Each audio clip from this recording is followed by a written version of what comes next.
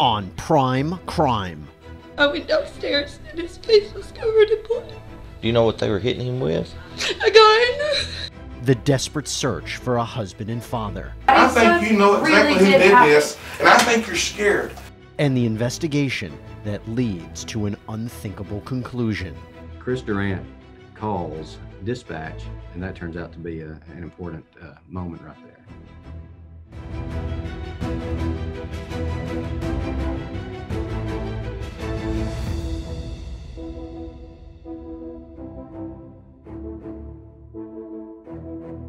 Hey there, everybody. I'm Jesse Weber, and welcome to Prime Crime. This is where we do a deeper dive into the most high profile and memorable true crime cases. What starts out as a terrifying home invasion turns into something else entirely. Titus County 911, what's your emergency? I have a home invasion. My niece is tied up. She's tied up. She is tied up and gagged. It's February 20th, 2015, in Titus County, Texas. Ginger Kesterson is on the phone with police, explaining that someone broke into the home of her niece. I am untying her. I can't get the What is the victim's name? uh, Samantha Wohlford. According to Wohlford, she managed to break free from her restraints and call her mom, who then contacted Kesterson to come to the house. During the attack, her five children were all asleep. However, as for her husband, the father of three of those kids, Ernest Ernie Ibarra Jr., he's nowhere in sight. She's saying that they hit her husband in the face about five times and drug him out. Police quickly arrive on the scene. So walk me through what happened. I don't honestly know what happened. Okay. I was in bed asleep. Okay. And we heard a noise, and the second I was able to open my eyes, somebody grabbed me and jerked me out of the bed and slammed me down on the ground and started tying me up. Didn't recognize anything about. They had black masks on, black shirts, black pants. Every inch of skin was covered. home invasions are rare among average people because of the fact that there's so much risk involved, right? Because when you come into a home invasion, you're coming in with force, with weapons, you're holding people at gunpoint. The situation can easily spiral out of control. It was a very harrowing tale and very dramatic. Then when they dragged me downstairs, because they had him downstairs and they were separating us, I went downstairs and his face was covered in blood. Do you know what they were hitting him with? A gun. At one point, Samantha says they bring her downstairs and have uh, her stand in front of him while they say, How can you not appreciate what you have here? You have this beautiful woman here. Why, how can you not appreciate this? How could he treat her so badly? Uh, that they exposed her and they used her to taunt him while they continued to beat him. Why would someone attack this couple? And where exactly is Ernie? Let's take a step back. After meeting in a tattoo shop in 2008, Samantha and Ernie began dating. Samantha, already a mother of two, ends up having three more children with Ernie, and the pair wed in 2014. Yet things between the two weren't picture perfect. I don't think that uh, they had a very uh, good relationship. Uh, it looked to me like he was doing um, everything he could to keep uh, the family financially afloat. He was working two jobs. Uh, she was not working. So, what was she doing? I've always wanted to be an actress. I think it is so much fun. One of the most amazing forms of art ever to be able to express yourself that way. Wohlford spent her days posting numerous videos on her own YouTube channel. when you first saw the YouTube videos, you know, it was more like, you know, personable and she was trying to do how to types of videos. Hey guys, I'm doing a makeup tutorial today. Um, it's my first one, so don't be too harsh. But as time went on, you saw her videos become much more darker, much more complaining about her relationship, really putting her personal life on Front Street. Hey YouTubers! Today a lot of shit pissed me off, so you guys get to listen to it. His dad's not having a whole lot to do with this pregnancy, and that sucks. I'm kind of screwed as far as dating goes because I date losers. I think that Samantha had this perception that other people really cared about her life, and she fed into that perception. I think this was a source of excitement for her, and she wanted attention. The problem is, is that this really developed into this kind of tunnel vision for her. It was her only focus, and her family was really left to the wayside. What do you think of me making YouTube videos? Well, I guess I don't mind. Takes up a lot of time. This desire for Samantha to become a YouTube star or some kind of influencer really started to impact the relationship between her and Ernie. And Ernie felt a little bit forgotten. Not gonna light a cigarette? Oh yeah, I forgot about him. Because you got that fucking iPad in your hands. Oh, where, but where, where, but where? At least you're paying attention. But only because it's a fucking hilarious ass episode. Coming up, Samantha sits down with authorities and she realizes who may be behind this attack. I feel like there's something he hasn't been telling me, but I don't know what. What's your gut feeling tell you? I think it's something to do with his dad. They would have to either be familiar with the place to be able to do all that and know where they were asleep. In February 2015, authorities in Titus County, Texas are confronted with a strange situation. A woman named Samantha Wohlford explains that unknown masked intruders broke into her home, attacked her and her husband, Ernie Ibarra, and then kidnapped him while her kids were asleep upstairs. It's what Wohlford remembers, though, about the comments from the assailants that provides a new clue. Did you hear him say anything else besides Yeah, what you told us? They said that it was because of his dad. And Because of his dad? Yeah. Okay. And Um, they said his dad narked on someone and got their man thrown behind bars. And now they were taking revenge and taking someone from him. Could Ernie's father somehow be mixed up in all of this? As Wohlford later tells detectives, she thinks he just might be. His dad has a problem with getting involved in things that he don't need to be getting involved with. Such as. Drugs. As law enforcement worked to check out this lead, they notice that some things are off. I'm not really seeing a whole lot of blood though for somebody that was pistol whipped. Scene's not really making sense of what she's telling me. No, everybody's wearing all black, black shoes, no identifying marks on them. There's also the matter of a bound Wohlford calling her mom. My mother was the first number on my call list. I just used my face.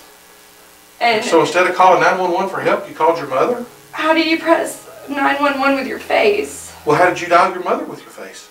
I didn't dial my mother. I just pushed the first thing that was on there. It had just happened to be my mom. I think you know exactly who did this. I think the story's made up about about the uh, well, your daddy, his daddy, and, and, and stuff like that. And I think you know. I think you know exactly really who did did happen. this, and I think you're scared. Samantha sees herself as an actress, but I think that she exaggerates her own abilities, and investigators really see right through her. The only other thing Okay. See, I knew. You know, you know, Sam. You know, I'm not here lying to you. You know, I know. The only other thing I know, and I don't even know if I know, Okay. but it's a suspicion. Okay. I've been up at the hospital with my friend Charlotte, Okay. And she's got a guy there, and I swear to God, I cannot go up there that I said any of this. Okay. Because they have a lot of friends around here, and my life will be in a lot of danger. Okay. I have a problem talking to my friends about our problem. Mm-hmm. And he gets to talking about how a man shouldn't treat a woman that way and how you don't do those things to a person Okay. and he's gonna deal with the situation. Okay. I didn't take him seriously. Okay. You see, Sam. You know who did this. Okay. What? And Who is this got- guy? His name's John. John who? His Facebook is Rebel, John Rebel. As time went on, her story started to change because the reality is when you tell the truth, the truth doesn't change. And when the details start to switch up, that is definitely a cue for law enforcement that there's more happening here and that they need to dive deeper. What did you say when he said he's going to take care of that problem? I just laughed at him. I thought he was joking. So now all of a sudden, why are you bringing him out? Because you know that it was him. Because Why do you know it was uh, him? I just have this feeling like it was. Up next, we find out who this John Rebel is and also what happened to Ernie. They never told me why. They just told me that they were gonna fuck this dude up. But the evidence we found on the scene is just not matching. I don't think you I don't think you harmed this boy. But I think you know who did. It's February 2015, and young mother and YouTuber Samantha Wohlford admits to Texas police she may know who's behind the abduction of her husband, Ernie Ibarra. She explains that one day she had complained of her marital problems to her friend's boyfriend, who cryptically said he was going to deal with the situation, a statement that at the time Wohlford said she didn't take seriously. This man was identified as Jonathan Sanford. Now, Jonathan Sanford had recently been released from prison for molesting his cousin. Starting in junior high, he uh, enjoyed, you know, shaking kids down for lunch money. Uh, he's just that kind of guy. And he's really unapologetic about anything he did um, illegal, wrong, immoral. Police quickly arrest Sanford as well as his brother in law, Jose Antonio Ponce. Jonathan Sanford and Jose Ponce were arrested the following morning, and they were arrested because of information that Samantha finally disclosed to law enforcement. She had previously described that there were three of them, so I think law enforcement believed that there was at least one more person involved. Police also apprehend Octavius Lamar Rhymes, who Sanford enlisted for the attack on Ernie. Octavius Rhymes was from the nearby town of uh, Pittsburg. He had been in the military. He was using drugs, uh, methamphetamine specifically. He wasn't doing anything uh, productive, and that's kind of what put him in this situation. Pretty quickly, after the sheriff's department detained and arrested uh, Jose Ponce and Jonathan Sanford, uh, those two individuals talked. Sanford decides to open up to police and explains how and why they attacked Ernie. Samantha talking about her relationship with me and Tay and my sister-in-law and all that, and me trying to talk to her and help her out and all that because she seems like a good person to me. And she was explaining to me how he treats the kids and all that. If I ever see it, or if I happen to be around, or if I ever see her with bruises or the kids with bruises, that so yeah, I said I'd whoop his ass. I did say I'd, I'd hospitalize him. I'm gonna put you down and make sure you can't come back up and whoop my ass as I'm walking away. It's almost like his attitude was, well, you caught me, so I'm just going to lay it out there for you. Sanford recounts that after kidnapping Ibarra, they took him to the woods and killed him. So Jonathan Sanford led the, the sheriff to where the body was. Sanford, Ponce, and Rhymes had taken Ernie to a remote location. They walked Ernie through the woods. He uh, was just in his boxers. He's been beaten to the point where he's he's just moving. He, he's not really, I don't think, coherent anymore. Jonathan Sanford had, had told us that his plan was initially to shoot Ernie, and then he decided not to, that he would slit his throat.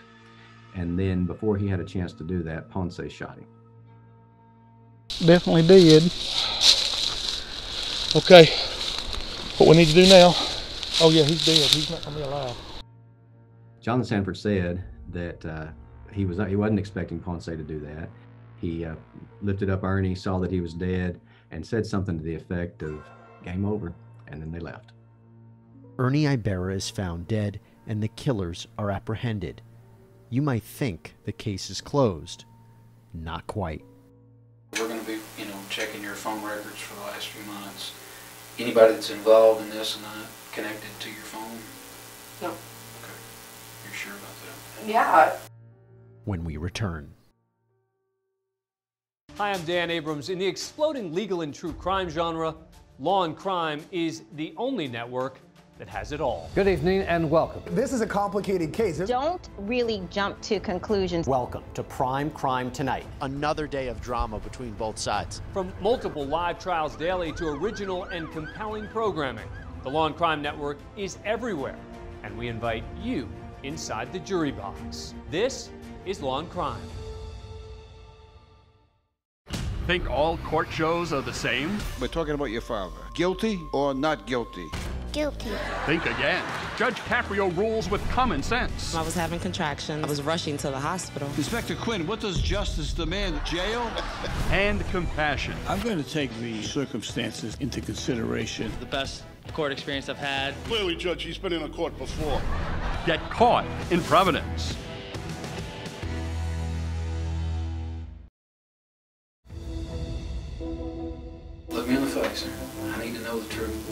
Anything to do with Ernie's disappearance? No, and I Did would you have anything to do with his death? No. In 2015, Texas investigators make a chilling discovery in the woods the dead body of Ernie Ibarra, a young man who was kidnapped after a reported home invasion. Police arrest three suspects Jonathan Sanford, Octavius Rhymes, and Jose Ponce. Sanford would eventually confess and direct police to the corpse. Ibarra's wife, Samantha Wohlford, an aspiring YouTube star and mother of five, says despite her marital issues with Ibarra, she was not involved. She does admit, though, that she had complained about Ibarra to Sanford, who by all accounts got angry with how Ibarra treated her and their kids. Yet, is that the whole story? Not even close. They've got a pretty volatile past, and we've arrested him before. Yeah. Assaulting her and the infant. And make sure, you know, she didn't do something to him and then stage the scene to make it look like something happened. Authorities note that the scene of the home invasion is suspicious, with no items taken, the kids being asleep the entire time, and the fact that immediately after undoing her binds, Samantha called her mom first, not 911. I think that Samantha wanted extra eyes. I think she wanted people to be able to corroborate her story. Up to that moment, it, it could have happened like she said. The officers arriving on the scene did not have any thorough understanding of how fragile the ribbons that she was tied up with were. And they didn't have the information regarding how she got her phone and how she was making phone calls. Where did he take that? Well, we've got a search warrant for your phone. That phone's gonna be ours for a while. Things are just not piecing together with your story. It's the phone data that would reveal so much. Let's go back to the body cam footage from the night of the home invasion. They took his phone to. So he's got his phone? No, they have his phone. Okay, that's what I'm talking about. Hey, alright, this is what we need to do. I need to do an emergency uh, phone ping. And I've got the cell phone number. Chris Durant calls uh, dispatch, and when he's doing that, she does ask if she can call or text her mother. Can I call my mom back? Yeah. Verizon gave us text messages from Octavius Rhymes' phone. That showed some back and forth between Samantha's phone and Octavius's phone. We had messages from her to the co-defendants to try to help them evade law enforcement. So the first one was at 2:30 a.m. Comparing uh, the time stamp on Durant's body-worn camera and her asking if she can call her mom or message her mom. At that moment, she sent Octavius Rhyme a text that said, to the general effect, "Kill Day's phone, shut that down." Um, Day is a nickname that uh, Ernie Ibarra went by.